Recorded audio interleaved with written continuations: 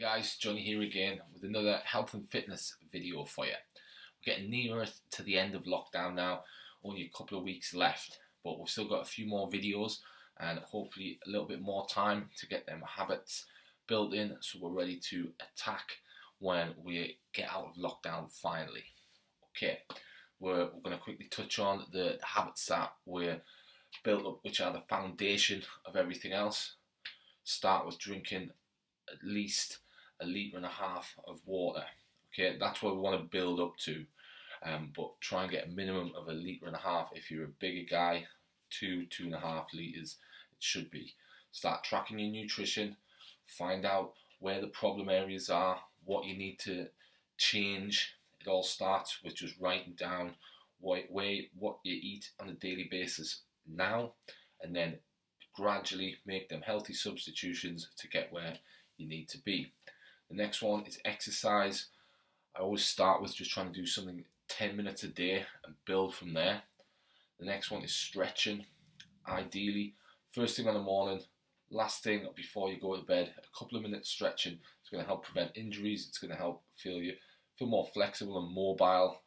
Um, it is it is important. So the more that you can do, the better. Last but not least, sleep try and get at least seven hours sleep. It's a lot harder for some than others. Some people this is not an issue. If you're getting eight hours, absolutely great. But think seven hours is a minimum because if you if you're not getting enough sleep, you're going to be tired and unproductive throughout the day. Your willpower is going to be lower and everything's going to be a lot harder. So that's always the foundation. What I like to start with, try and get them habits built in choose something you can do daily to get you closer to that goal. So we've got a few different health and fitness tips this week. First one is kind of like a motivation and mindset tip, and it's to avoid overwhelm and build momentum. So how we can do that? It, it's pretty simple. It's just start small. Don't try and do too much too early.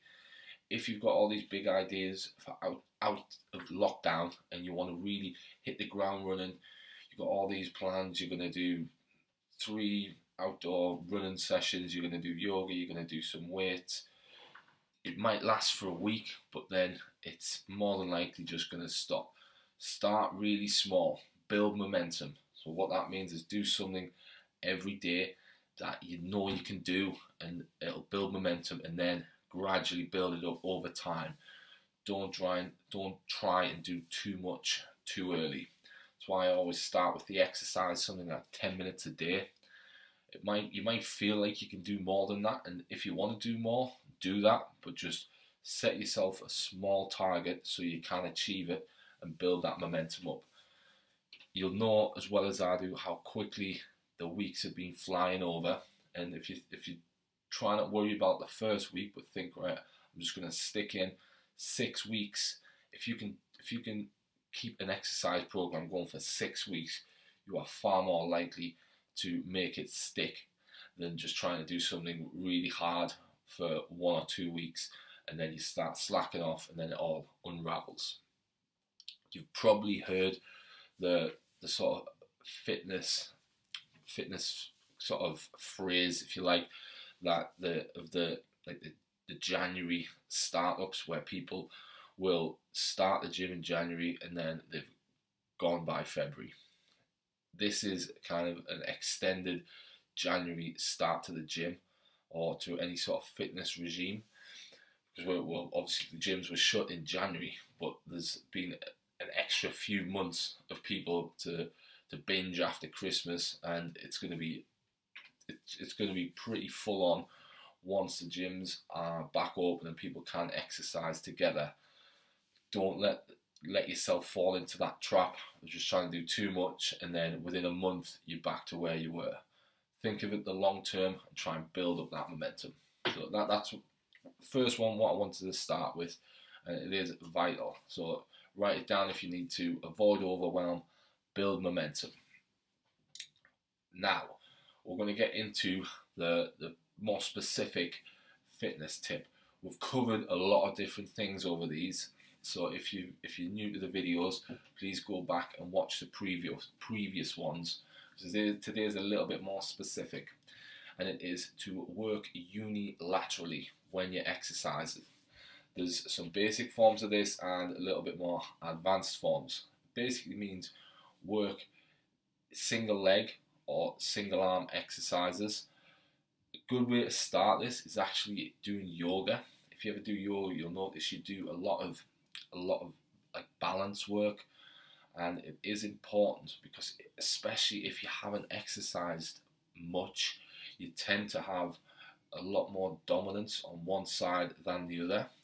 This for one can lead, to injury. See a lot lot of the time with knees if people constantly carry a bag on one shoulder one side's stronger a lot tighter on this than this side or if people have like a thrown arm there's a lot of reasons for it. And if you if you don't work unilaterally to try and correct them imbalances at the most basic form you can you can lead, lead to injury. And at a bit more advanced level you're going to inhibit your performance if you've always got one side stronger than the other. Okay so a few a few ways to do this. I did mention yoga. That's a good place to start if you if you think of a few bodyweight exercises that you can do unilaterally, things like lunges are a good one. Step ups, where you're focusing on just one side at a time. You'll soon notice if you do have an imbalance, because if, if one if one side's a lot tougher than the other, you'll soon realize that. So that means you, you should do a little bit more on the weaker side to try and catch it up. Because if you don't, if you always do the same amount of reps or the same amount of time on a particular side, on each side, then they're going to get better in unison. Whereas if you want to bring up the weaker side, then you need to do a little bit more work just to focus on that.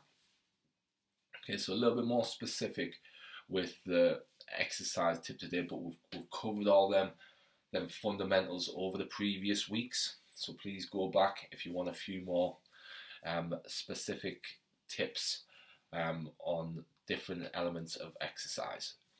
Now, the last one we want to go through is the nutrition tip, and it's and it's three specific tips to better prepare your meals for the week. So if you put, if you do these three things, then you're a lot more likely to succeed because it's one thing planning what you want to do, it's another thing actually doing it. So having a good plan is important. Uh, the first one, it's write yourself a shopping list and write a meal plan for the week.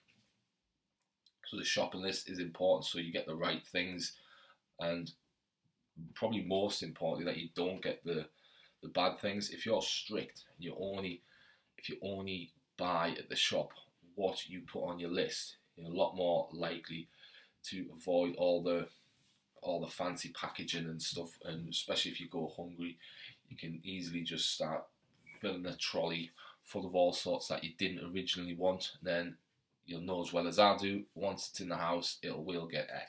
So shopping list is the is the start of this. Then you also need a meal plan for the week. So if you if you know every meal that you're going to make, doesn't need to be the the whole week, but I would say definitely through the, the working week, so Monday to Friday or Monday to Saturday, write down your meals for the week so you don't you don't have to make them decisions on the spot when you are hungry. It's the easiest thing to do. Um, tell yourself that you're to eat, buy something healthy when you go to work. When you get there, you might have had a stressful morning. You might be feeling really hungry, and the last thing that you want is something healthy. So if you've already got, if you've already planned it, then you will, and then you've already made the meal, you're going to be a lot more likely to eat it. So we'll go shopping list. We'll go plan the meals, the full meals for the week. Then the next one is pre-cook your meals. You can do this in one or two ways. You can either batch cook either the full week or you can do like two points during the week. So say like a Sunday and a Wednesday, and that's um, cooking the full all your probably lunch meals for the week, and then cook you can still cook your even meal evening meals as normal. Um, you can either do it um, one or two points during the week, or what a, a simple way to do it is where you don't have to use like a big chunk of time to do it is whatever you have on the evening, then double cook that, and then you've got a meal ready for the next day. Just the, the key is always having that meal ready for when you go to work or just even even if you're in the house for lunch. So when you do, when it does come to your lunchtime, you're hungry, you don't have to make any decisions. It's already made for you. So that's the that's the next part of that, and the final one is also to have a backup plan. So if if you do everything right, you shouldn't need that, but inevitably there will be some times where that goes out the window. So what a backup plan could look like is having a list of go-to healthy places um, or go-to healthy meals. For example, you could, if, if you work in a city centre, you could have on your phone a few things from somewhere like Pret, where if, if you go, um, if, if you know you've forgot your meal, for example, or you forgot to make it last night, or you might have had to go out for a meal um, at a restaurant on the night before, so you haven't made your lunch for the day. And if you have a list of go-to foods that you can get, then again that that decision made for you. Um, you could also you could also have some like frozen frozen backup meals in the freezer. So if you forgot to make it the night before, you just need to take that out. There's not a right or wrong backup plan. It's just having something there for when things don't go as you wished and you do need to sort of make a decision on the spot. So shopping list, plan your meals for the week, pre-cook your meals, have a backup plan. If you do all that, you're much more likely to succeed with your nutrition. So those are the tips for this week, guys. Your challenge for this week. The weather's getting nicer. We've done this one before, but all I want you to do this week is four times this week, get outside and move. So you can run, you can walk, you can do body weight movements, and as well, this is the first week where we're actually allowed to exercise in groups. So find some friends, do some outdoor workouts. It's this the social element alone is really being missing. So please give this one a go, guys. So it's only two weeks until the gyms are actually open.